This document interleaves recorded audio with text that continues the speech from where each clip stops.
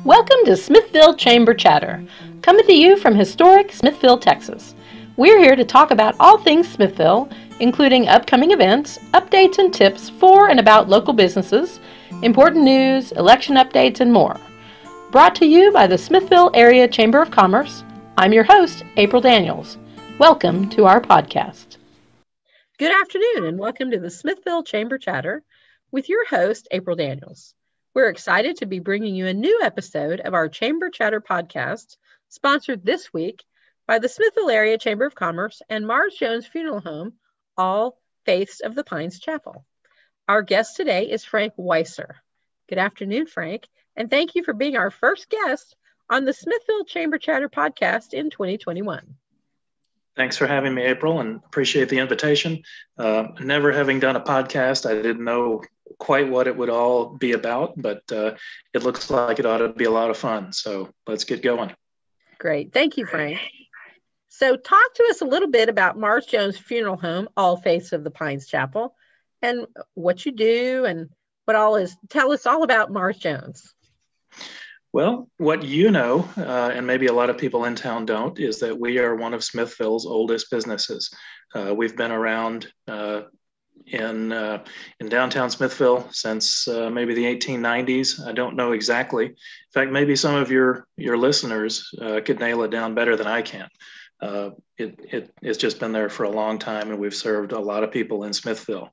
Um, also, what you know, and maybe some of your listeners don't, is that we merged with All Faiths of the Pines, and uh, we are in the All Faiths location currently. We have moved out of the old Marrs Jones building at uh, 104 Olive Street, and now we're over off of American Legion Drive. And uh, we're getting in, we're making some nice changes. Uh, I think the folks in Smithville are going to really like what they see with our service and our, and our facilities. So we're really excited about the future. Well, that's exciting to hear. And for our listeners that are very familiar with Smithville, you'll know exactly where American Legion Road is and uh, where their new location is. It's a lovely location there. So we certainly encourage you to go and, and take a tour and, and talk with the folks over at Marrs Jones. Speaking of Marrs Jones, I do want to thank them again. Uh, they are today's sponsor of our podcast. Again, Marrs Jones Funeral Home, All Faiths of the Pines Chapel.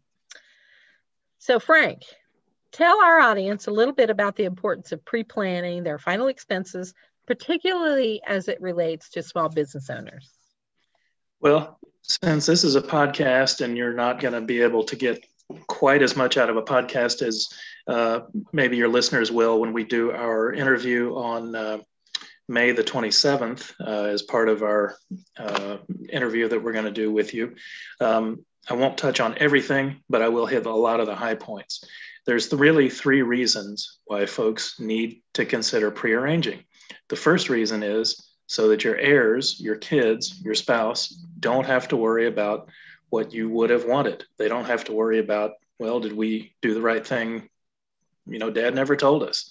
Um, guys, you are, we are uh, the worst at planning ahead for funerals. Um, as a small business owner, you have to plan for a whole lot of different things um, more than you know what the average person would have to. And i think this goes along with being a small business owner. It just makes sense to do that. Uh, it's going to be one less thing for uh, your spouse for your children for uh, everybody to have to worry about. Um, the next thing is that you get it paid for and you get to pay for it on your terms. Um, it would take a long time to go into all the ins and outs of the payment plans but that's one of the things that I really try to do is make it simple. Um, you know, we go over it, make sure you're good with it, make sure it fits your budget. You pick the goods and services that you want, not what else, not what someone else would want for you, right?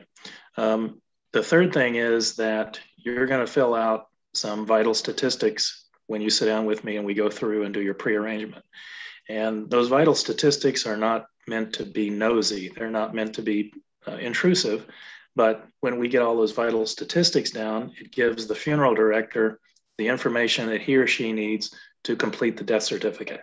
And the last thing your family wants to do after you've passed is sit in the funeral home and answer 20 questions.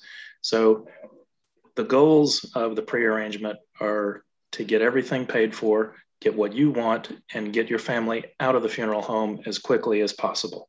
Uh, there really isn't any other reasons to do it that are uh, that really hit the top three. So planning ahead is something that um, that we do in all kinds of respects, whether it's college education or retirement or uh, succession planning for a business. Uh, it just comes as kind of as part of the territory, I think. Thank you, Frank. I really appreciate you going into those details with us. I think most of our listeners, whether you're watching or uh, listening in on our um, iTunes or Spotify, understand the importance of pre planning and understand the importance of um, working with a local uh, funeral home provider that understands the needs here locally and understands what it is that you need for you and your family and your small business.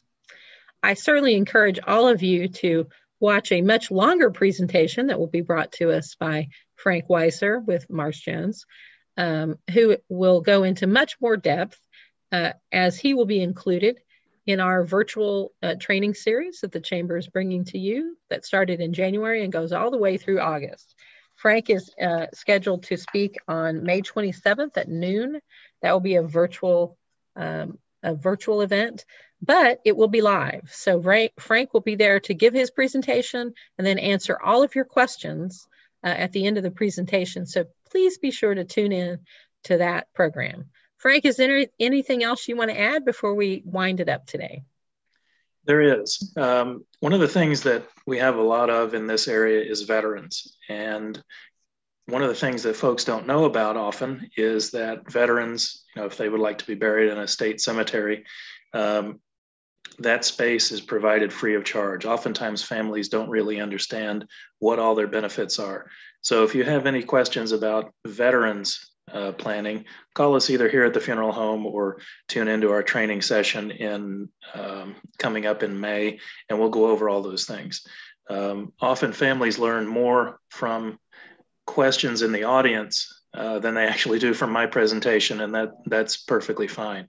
Um, some of the questions that come up are are uh, really good and really informative. So you're going to want to make sure to tune into that.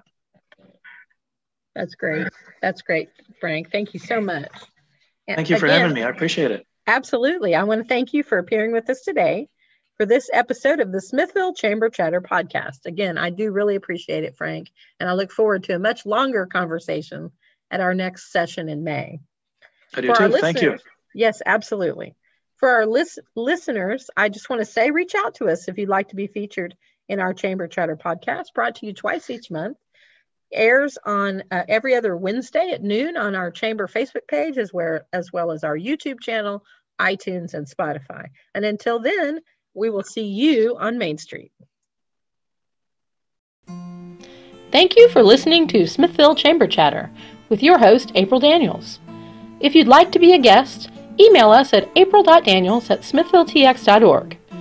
Between now and our next episode, be sure to check out the Chamber's website at www.smithvilletx.org. Until then, we'll see you on Main Street.